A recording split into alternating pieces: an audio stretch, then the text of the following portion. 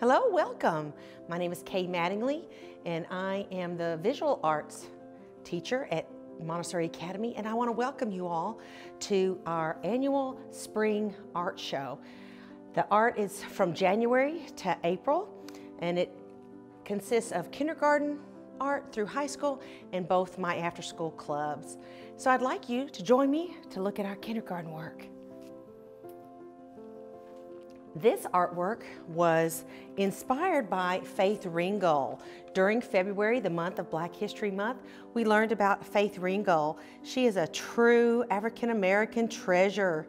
Uh, she was most famous for her story quilts, and her story was that she loved to fly magically over the Washington Bridge, the George Washington Bridge in New York City. And so our children, our kindergartners, drew the city of Nashville in white oil pastel and drew themselves flying over the Korean War Memorial Bridge, our very own.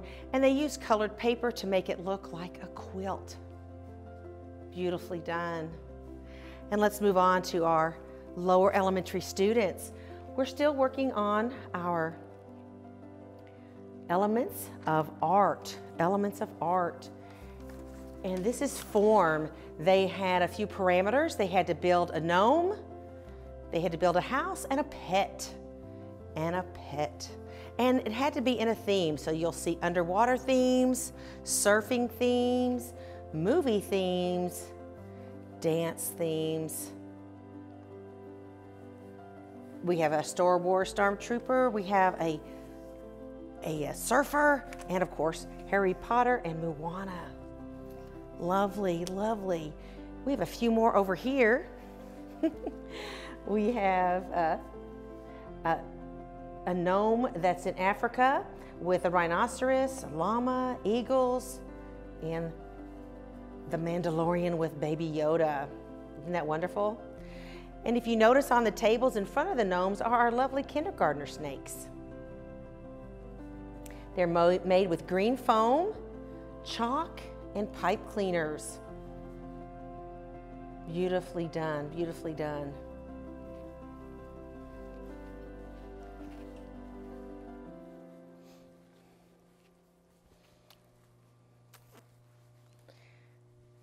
Here's some more gnomes. We have 58 first, second, and third level students. We have bees and beehives, lots of dogs, lots of snakes, and the pets had to be part of their theme, part of their theme. A farmer with a yellow cow. and at the bottom floor, we have some beautiful horses. Each one is beautiful. Our mermaids, our farmers, kitty cats, and princesses. Great job, great job. All right.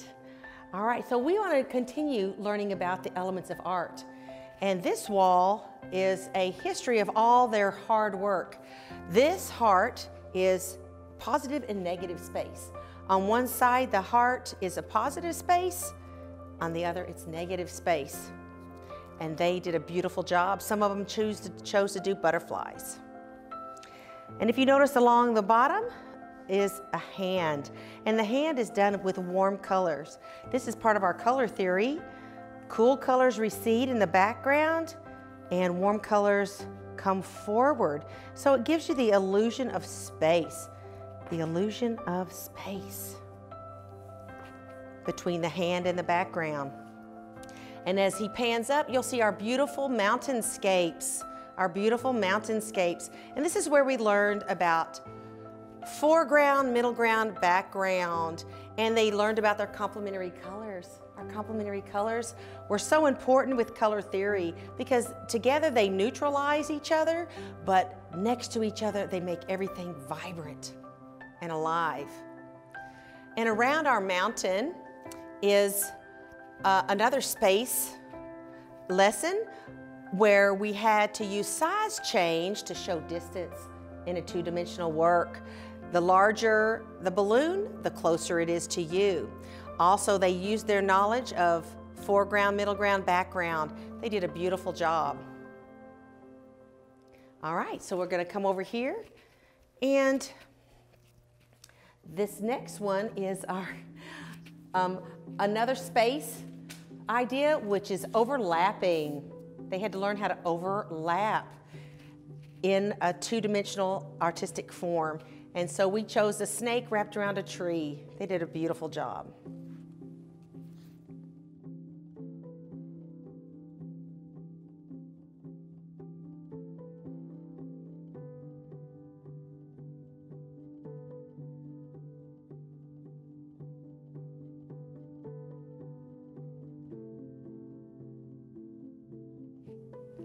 Coming up on this wall, these are our middle school students.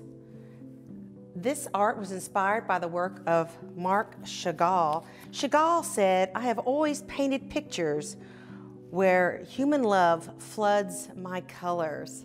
So I love the fact that uh, these students were encouraged to use different colors and do things upside down, overlapping, and a world that is different than what they're used to.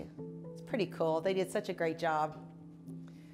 You can see uh, musical instruments, you can see downtown Nashville, you can see the animals they love. All of this is pretty personal symbolism for the student. All right. Another thing that our middle school had to do was create a tessellation. Now, tessellation is inspired by M.C. Escher. It is when a shape is repeated over and over again, covering a plane without any gaps or overlaps. So they created this shape and had to look at it really hard to decide what it could possibly be.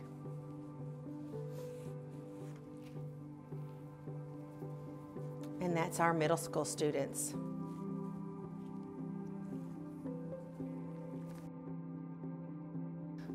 We'll come in through the hallway.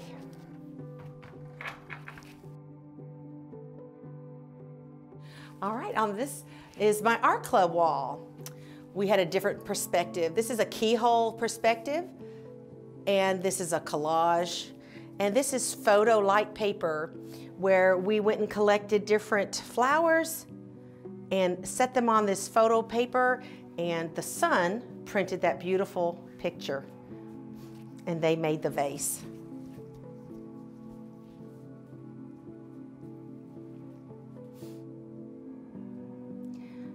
And here we're um, talking about um, value and pencil drawing. They had to grid a smaller picture of a deer and make it large to fit these beautiful, beautiful deers came out so well. All right. Along the bottom is another art element for our lower elementary. This is a texture lesson. They had to be able to make fur and grass. Fur and grass for those two different textures. Beautifully done in oil pastel. Now this is our upper elementary, fourth, fifth, and sixth level. A new year is always an exciting time to create an artwork for inspiring them. And I wanted to inspire them to look for this next year, to look forward to this next year with hope. So they did a collage as part of their artwork. And in the collage, they had to put things that they loved and wanted to do in the next year. They also had to do a crayon rubbing with their favorite color. They had to do a Celtic knot. And they had to do a Zentangle, a Zentangle. Um, they turned out beautifully done, a Zentangle. Fourth, fifth, and sixth level did all those. 2021. and we're moving over to our high school. I have three high school students who enjoy independent study class. They were able to choose what they wanted to study they were able to choose their projects and they really got um, a chance to do what they really wanted to do in art. Our first is Alana Hicks. She chose jewelry making. This here is a stone, a soapstone carving. She loves canoeing, so this is her stone, soapstone uh, canoe. And she is wearing her um, crystal that she had, and she learned how to do wire wrapping. And here is a close-up of the wire wrapping that she learned to do, fit around her crystal. And she did these beautiful clasps. She made those as part of that. And the next student is Yusuf Alkafaji, and he is my photography student. He also um, did photostat paper, which turned out to be really beautiful. This was a study um, in red. This was a study in object, and it just happened to be both red. and uh, this was an actual study for red, the color red. Our third high school student is Lorian Hicks, and she chose landscape painting. Landscape painting. This is based on a Kandinsky with bright colors, big shapes. This is another keyhole drawing. And this is her completed work of the ocean. She took this picture that's at the bottom and broke it into two smaller um, areas to create the other two paintings, but they all go together and form a family group. Back in the corner, we continue with our elements of art. Um, this is one point perspective. They had to draw a mountain with a road coming to it to show linear perspective. Some chose to do houses and some didn't. It was all good. And these beautiful pieces over here is my after school lower elementary art club. We made these beautiful marble papers and painted papers and we cut them out to make these beautiful owls. Beautiful owls. We have just a few more things to go over. All right, so we're back in our center and I want you to look at the beautiful sculptures. These are done by our fourth, fifth, and sixth grade level, our upper elementary. And they are based on Alberto Giacometti. And they had to add a heart. Uh, they had to add a heart. They did a beautiful job. Some added hair. Some were hugging the hearts, holding the hearts. but it was based on the walking man for, for, from Giacometti.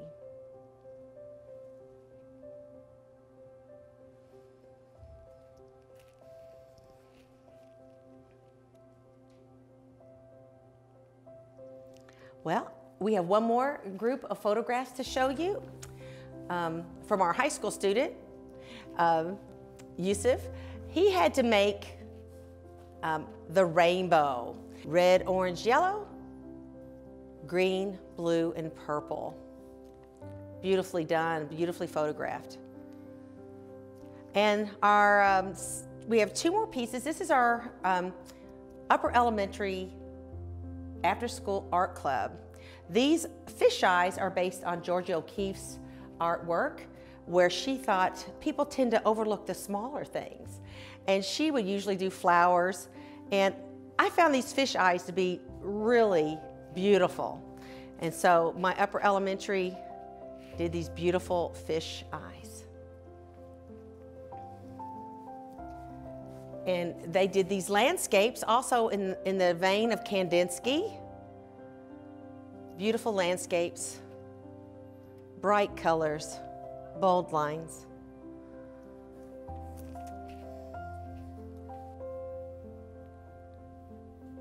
Thank you so much for tuning in to the 2021 Montessori Spring Art Show. I want to thank you for all your hard work and I want you to have a great summer. Keep on creating.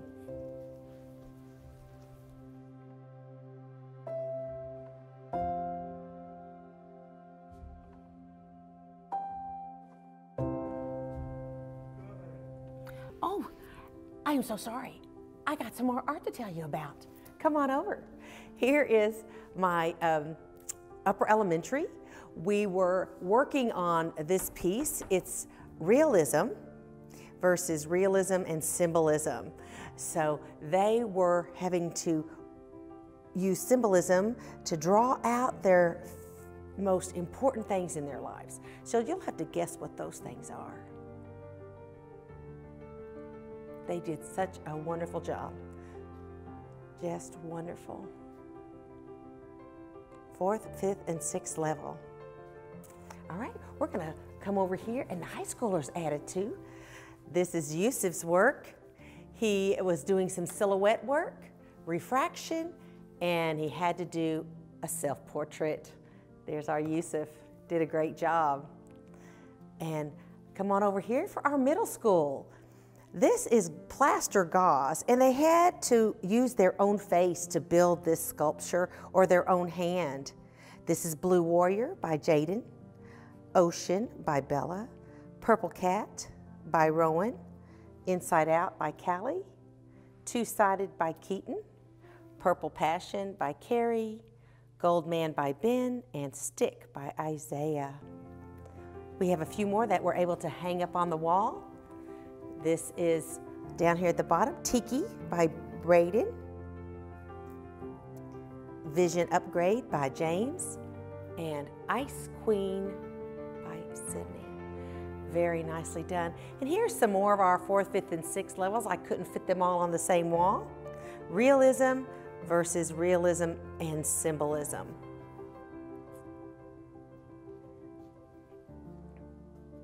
Did a great job, great job. We're almost done, almost done.